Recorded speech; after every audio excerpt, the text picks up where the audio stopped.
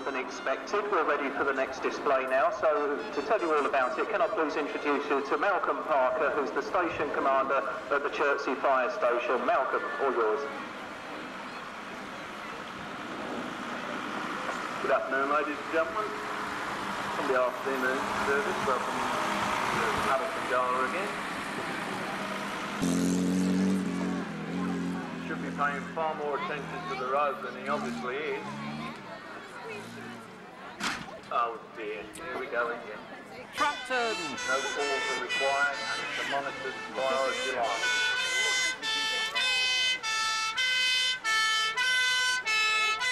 The first appliance is the water tender ladder.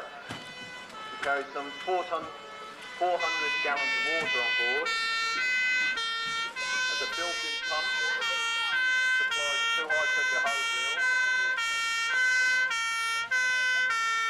The other vehicle an emergency vehicle and that carries specialist rescue equipment on it.